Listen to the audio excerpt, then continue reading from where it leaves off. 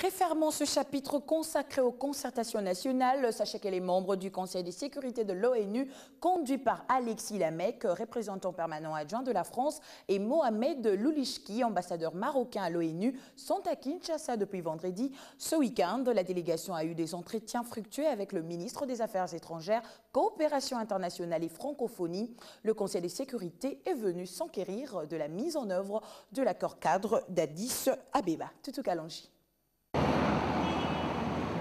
C'est une forte délégation des 35 membres du Conseil de sécurité des Nations Unies qui séjourne à Kinshasa depuis hier.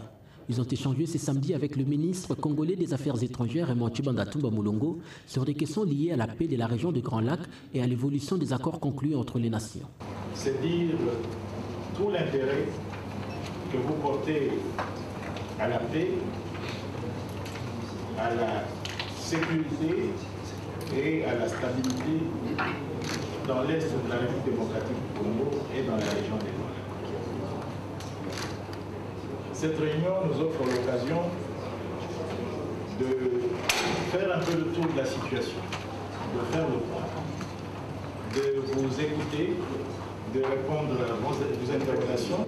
Cette visite d'encouragement a pour objectif d'écouter et de se renseigner des progrès sur les réformes et la mise en œuvre de l'accord cadre d'Addis Abeba. C'est une visite qui vise à écouter, à se renseigner sur les progrès dans euh, accomplis dans la, mission, dans la mise en œuvre des réformes initiées par le gouvernement de la RDC et dans l'application de l'accord cadre d'Addis Abeba, particulièrement la réforme du secteur de sécurité, la consolidation de l'autorité d'État, la décentralisation et la réconciliation.